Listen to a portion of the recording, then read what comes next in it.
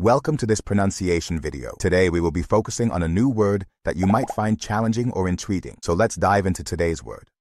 Paradójico, which means contradictory or seemingly absurd yet possibly true, exhibiting paradox.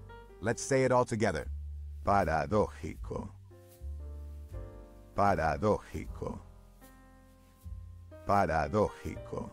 One more time. Paradójico. Paradójico. Paradójico. Thank you for joining us on this adventure in pronunciation. Remember, language is a journey, not a destination. Keep exploring, experimenting, and expanding your linguistic horizons. We'll see you next time.